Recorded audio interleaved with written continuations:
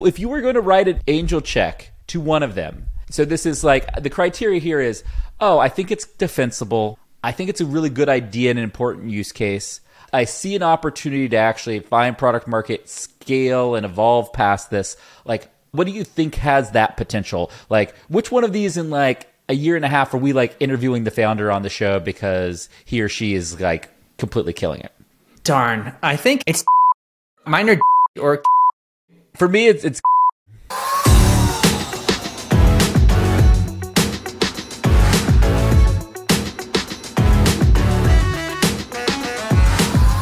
On today's show, you're going to discover some brand new AI tools that are going to change your life. We got submissions from entrepreneurs all over the world. We picked our favorites and we're going to react to their demo videos live in real time today. I'm Kipp Bodnar, the CMO of HubSpot, joined as always by Kieran Flanagan, the CMO at Zapier, and this is Marketing Against the Grain. Let's get into today's show.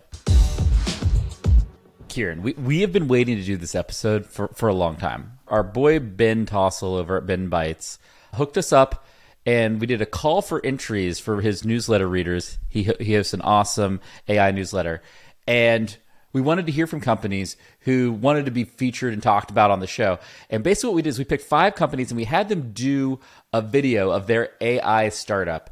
And we're going to react to them in real time. We have seen none of these videos. We know nothing of what's about to happen. We're going to check out these videos. We're going to give them the real talk of what we think, and we're going to give them some free marketing advice. The thing we love to do, Kipp, is we love to look at early stage companies. We love to look at AI. We love to figure out how early stage companies are going to grow.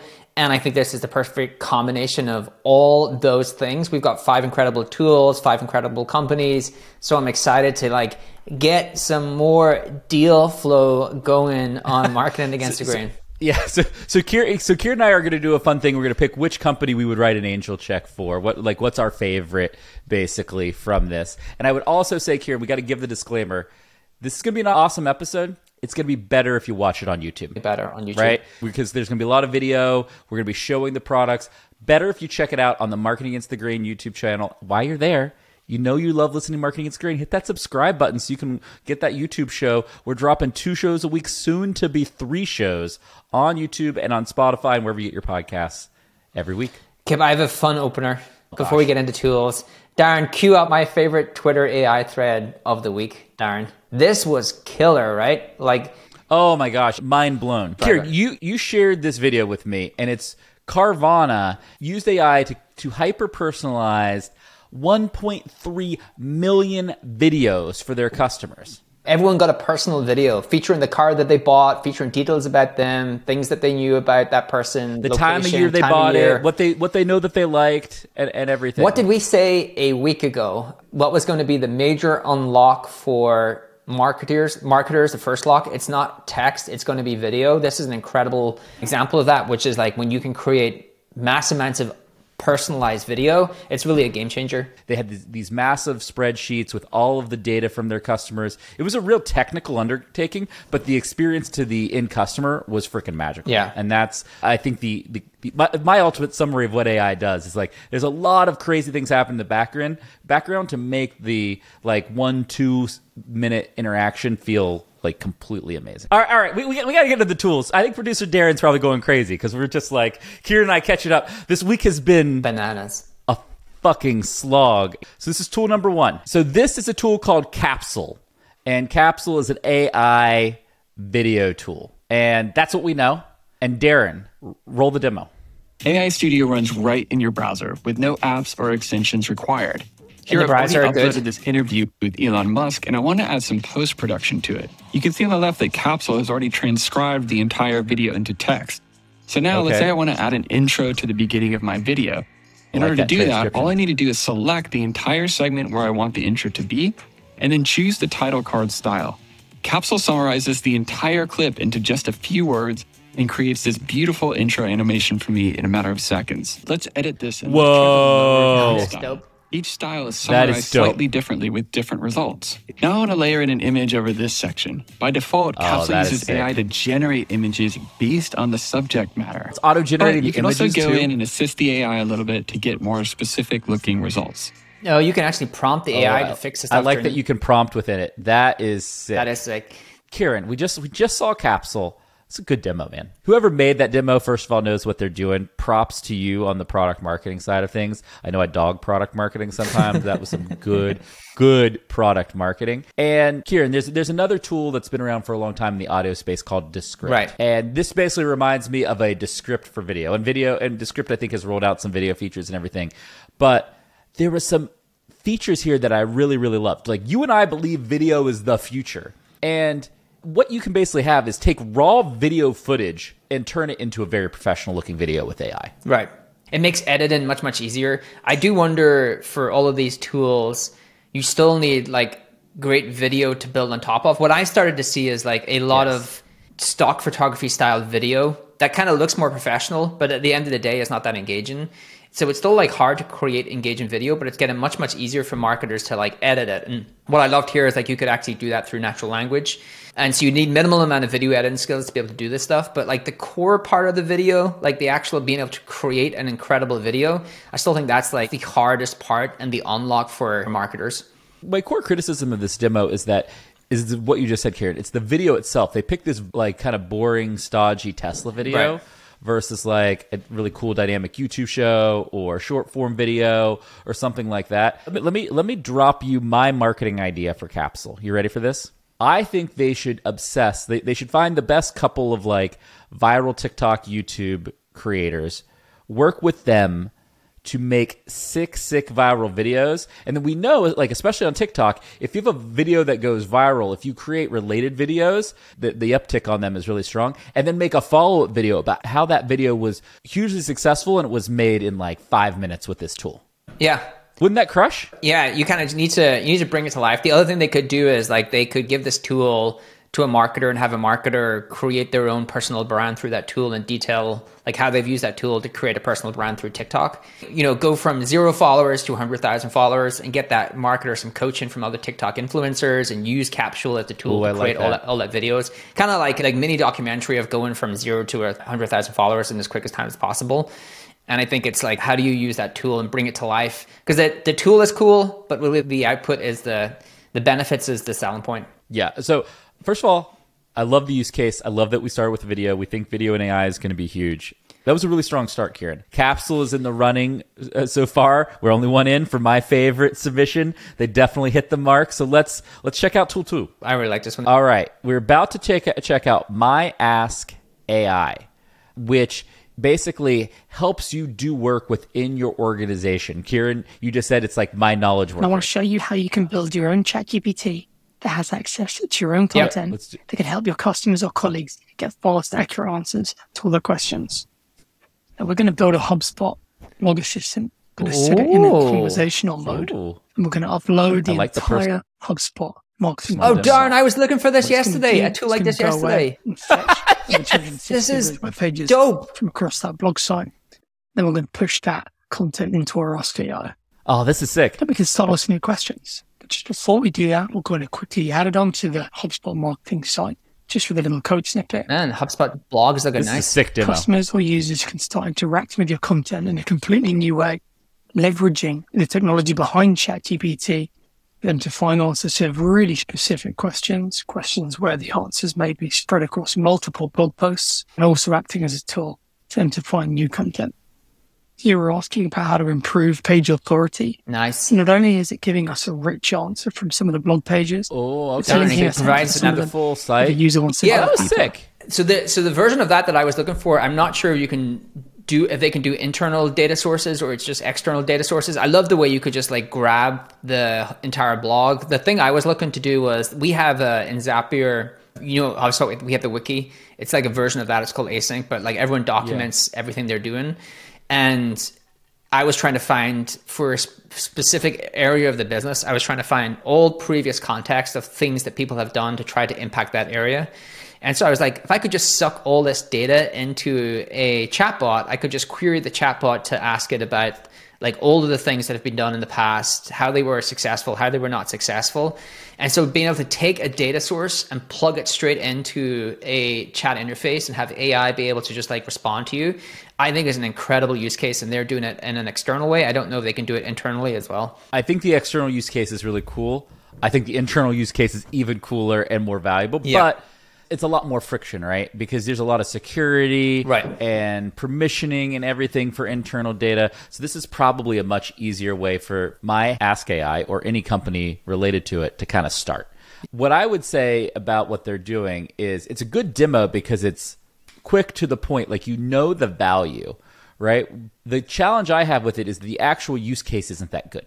Like it's magical, but like having a content bot on your blog is good and interesting and like we'll probably do it maybe we'll even use use them from the sick demo it's not like a game changer for your business growth no. or your productivity no. and that's the challenge is that they need to my advice to them is they need to take this what they've learned as this kind of initial beachhead into this market and figure out other more valuable use cases which is around like how do you have really good product chat to monetize? Can you take all the product detail pages and have and help people monetize their core website much better? That's actually way more valuable than content pages. Not that content pages aren't important, but like there are other kind of even core website use cases that they could go to here. Yeah, yeah, I think it's fine in the use case use case where the data is so unique that actually that use case is valuable. I do think like one cool idea if they just want to use this as a way to get traction is to do like the thing that we have to do is like an entire episode of character AI because it's just such an oh, incredible oh, yeah. company.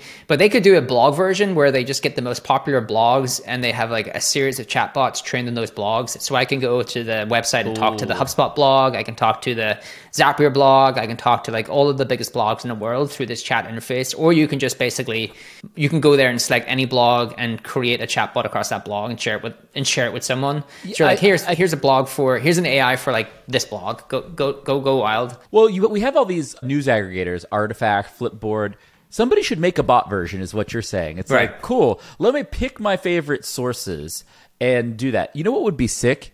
Is like, hey, I subscribe to these 10 newsletters. Five of them are on Substack, five of them are free. I want them every week ported into exactly this database yep. I pay for. And I just want to be able to query this bot for anything I want to learn from those people. Right. Like that would be so sick. I was looking I think for that. There's some public versions of that that they could host. Yeah. that would basically be marketing, and then they could go work with those creators to say, "Hey, you've got I've got your entire email backlog as a bot, and you should start promoting that to your subscribers as a way to keep engaged with your content, your ideas." Right. So I think this use case is potentially a cool use case, but I think they have to find one that they can monetize. That is the perfect summary. Very, very promising there's more risk in this one being successful than the capsule business being successful because the capsule use case I think is a little bit more obvious and a little more pertinent, especially to, to marketers, which is where you and I are coming from. All right, next we are about to check out Kajoo.ai, which is a AI powered platform that converts Figma designs into code in minutes. So this is awesome. This is a very important category really cool use case. I'm interested to see how they're actually pulling it off. Could you?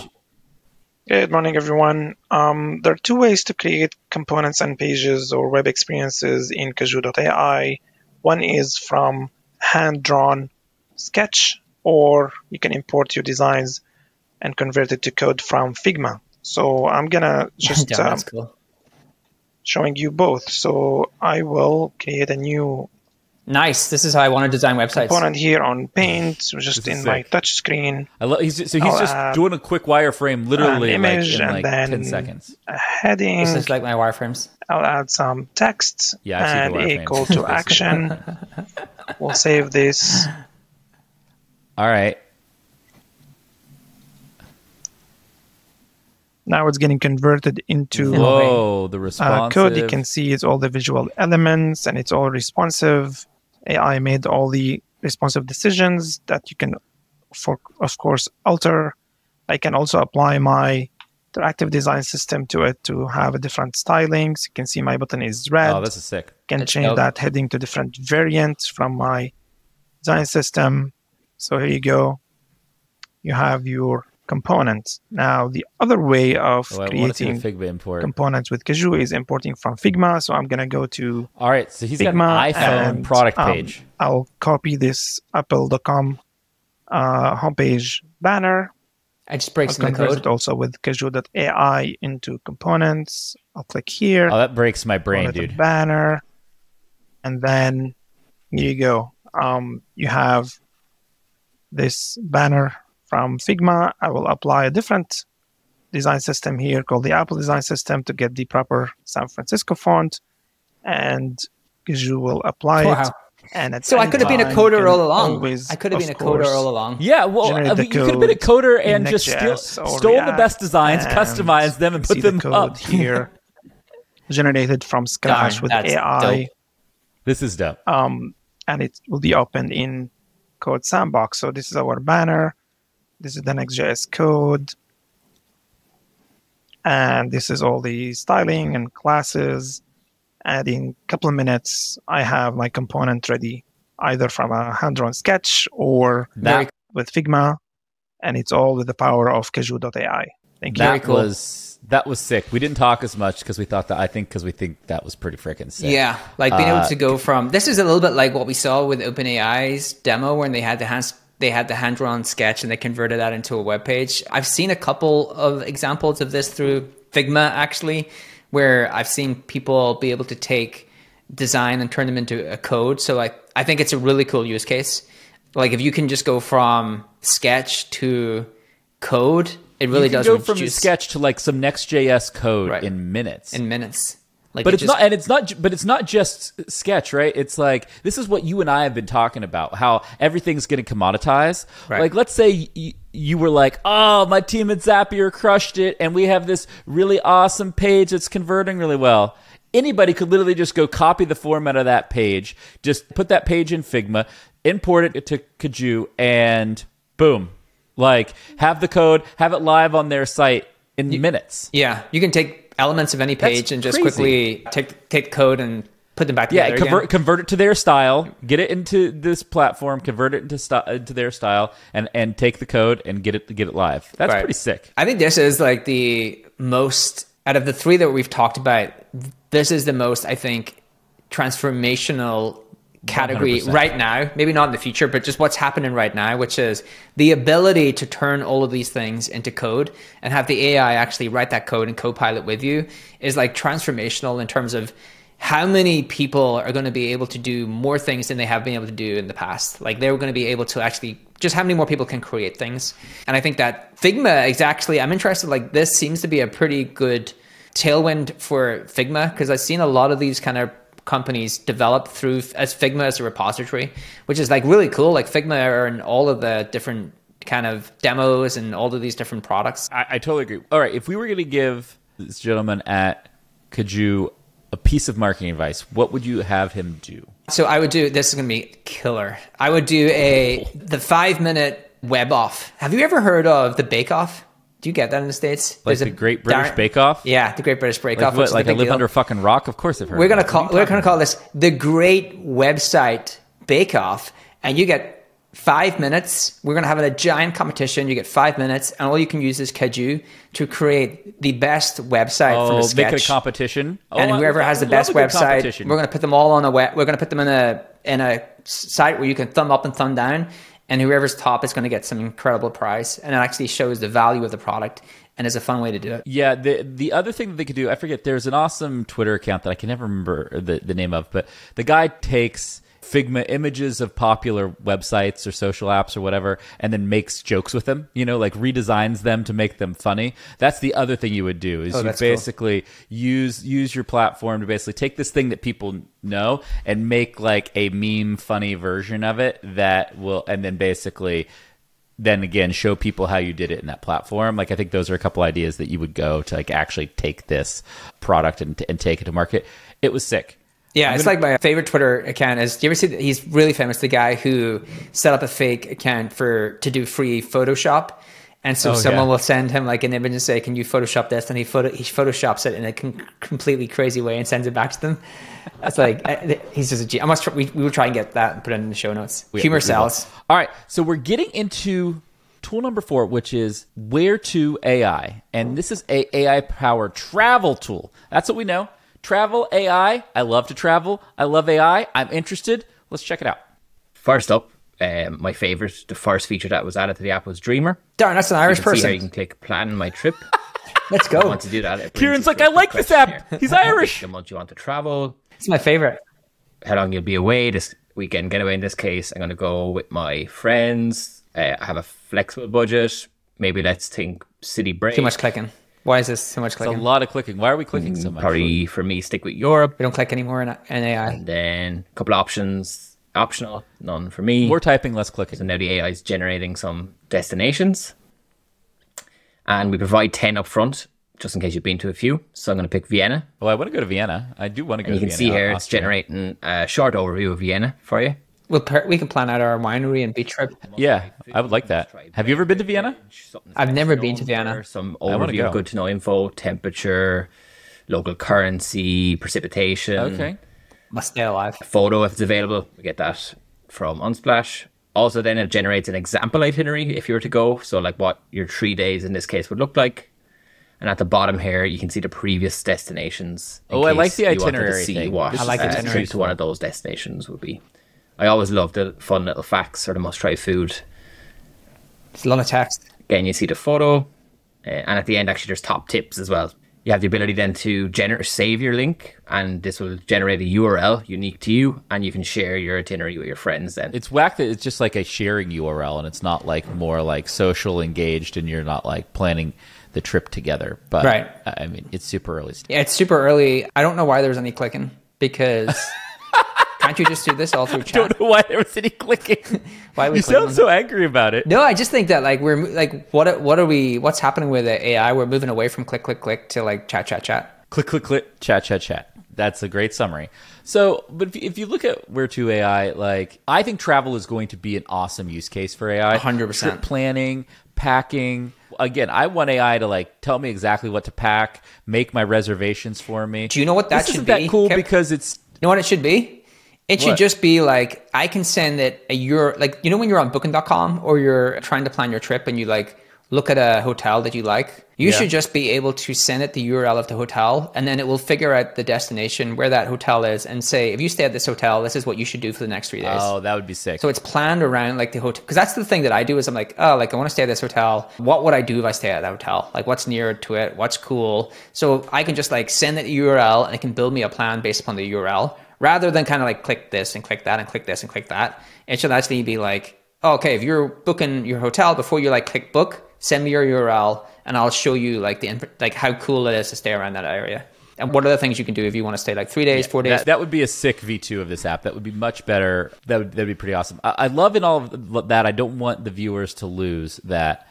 Kieran, you are the cutting edge of technology. You're using every new AI tool out there, yet you're still using booking.com for your travel. It makes me really laugh. What? What? Really? Is that bad? Oh shit! I didn't know. I know, that. I don't know. What's an It's just like- alternative? it's just really funny. You're not using some like cool travel startup I know, I know, or you're not like just booking directly feel through the resort or whatever. It's like, no, I'm just checking out booking.com. It's I'm funny. lazy. I don't know I'm why. a lazy traveler. I'm a lazy traveler. Um, the thing that he is missing out there uh, on the marketing side, Kieran, is that trips are inherently a social activity, and he should have a 100%. there should be a viral coefficient to this product where people are inviting others to this trip planning, discovering the tool, and he should be. There's no like user sign up. It is very bare bones. If he applied to some of the core growth principles, I think we'd be shocked at how many users he would have for such a simple application. right. Should be a mobile app. Basically, send an URL. It plans your inventory. Then you can send that to a friend and say, "Is this cool? Should we book?" Okay, so that was a cool tool. I like your V2 version idea of it better than what's currently happened, but it's clear it's super, super early on. All right, last tool of the day that we're going to check out a demo of is DeepSheet. DeepSheet is innovative data analytics uh, that allows users to analyze and visualize data by chatting with it in plain English. So we've talked a little bit about this with Code Interpreter from OpenAI does some of this. Let's check out like what if DeepSheet is better, worse. Like let's let's see. Hey there, this is Dylan, and I'm going to show you a demo of DeepSheet. DeepSheet is an AI tool that lets you interrogate your data. I'm gonna show you a demo of DeepSheet. I, I just need a minute. I just need a minute. Should I just keep going or play it again? No, leave it in. It's awesome. That- No, that is it's not an issue. it? It's great. It's great. It's just I need to prepare, I need to prepare, prepare myself for it. That's all. I will show you a demo for dipshit. yeah, just keep playing. Just keep playing. So let's get started. The first thing you gotta do is you gotta select the data set to analyze. So you click here, you select your data, and you upload it. once the data has finished uploading, you can actually clear the data sample and validate that it's correct.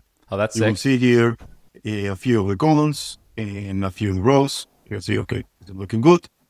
So let's I start like that, that you could just So the first thing check you your can do data is you uploaded. Simply do a right? Blood. Oh, oh, oh, I, I'm using this. Oh. I'm using this today. So you will This see is here that This it's is going to generate This is- a nice interactive I love graph this use that you can case. use. Here, these are the prices of our uploaded Google from 2006. to Darn, I'm actually- I'm actually He just changed up. the summarization like that. That was sick. Change over time. I'm literally so signing up. Right now. Yeah, And then that's you can literally use Kieran's like, shut up, take my money. Take my money. I need this. I actually, I have some here, data analysis. I really need to do interactive. now today. Where do go- I get this site? He's not. Where is he? He's not on Google. I can't find the site. Like, what's the URL? Dude, you had me at like you had me at like natural query of data and building charts that easily. Let's do it. Yeah, there, there's so much about that demo video. First of all, I think he wins for the simplest, most straightforward demo video that is Love effective. it. That's what I love. He, he was like, I'm not fucking around here. I'm just Yeah. going to do a 60 second Loom video and show you that my app is dope. He's like, "Hey, dipshits! Look, this is what this is what my fucking this, is- this is what my tool does." Deep sheet Shut the fuck up and one sign of my up. favorite things ever, and I would like a I would like a dipshit T-shirt, like DeepSheet on the back, dipshit on the or on the The front, dipshitters. and just like That's the make it a whole joke. He should he should lean into it. It's it's gonna be great marketing. You love this use case though. I do love this use case. I do wonder, like, it's a hard space because it's in the same space as Code Interpreter. I don't have access to Code Interpreter, and I've been waiting, so that's why I'm Well, actually. so nobody has access to Code Interpreter. It's in alpha. Yeah, If I was if I was this gentleman, I would go fast here. I think there is a short term opportunity to build a real user base because integrate to Looker, integrate to Amplitude, integrate to GA. Be able to just like integrate their provided natural language interface to all the ways of getting data in and out. Yeah, Google First Sheets. of all, but I think, I, Kieran, I think more importantly, how we, I think, like the travel app we just talked about, th- this app could have a massive viral coefficient, which is like, hey, Kipp, here, check out some data, and oh, by the way, you you can link back to this link in DeepSheet where you can go and manipulate that same data the way you want and challenge how I looked at it. yeah, That'd yeah, be yeah, yeah. sick. Yeah, this is uh, Right? Like you, you'd be like, "Oh, look, how look at how I checked out this data from the pod. Your thumbnails suck, dude." And I'd be like, "No, no, no, no way!" And I'd go back in and I'd be like, "Oh, no, no, no. It's actually your glasses are the problem. Stop wearing glasses, Kieran." And like we would like the back and forth that you could create on that would be Dude, awesome. I've got a that YouTube- people I- just don't do in Excel. You so you know the YouTube. You remember we, we used to love the uh, sports one where you had the the two people debating. What was the sports one where you like used to tell me like they would just get on and they would have five minutes of debate? It was like a well known. There was one called Ariel and the Bad Guy, which was the MMA, MMA Oh, are you talking like pardon the interruption? But there was some. There was one that started, I think, in American football, and they would get on and they would just like debate for like five minutes Yeah. about a certain topic. You could have the Oh, like dipshits debate data via deep sheet. Uh, who, who is the dipshit? Because the two like, dipshits would be the two people on the thing. The dipshits are the hosts. The- the- look, the in all seriousness, that one that's not a bad idea, and I, I would probably do that. This, the other thing I would do here is you would have a sick data YouTube show where you just would take any publicly available data and just drop an episode every day or every week that is just like, cool, here's the census data, here's whatever data that people think is boring. I found like five crazy fascinating things about it. Yeah, Reddit, Twitter. Oh Done. yeah, you would just totally take places. over Reddit and Twitter. Okay, for our first AI demo day, whatever we're calling this, those were five sick tools. There were dude. We- five we- sick tools.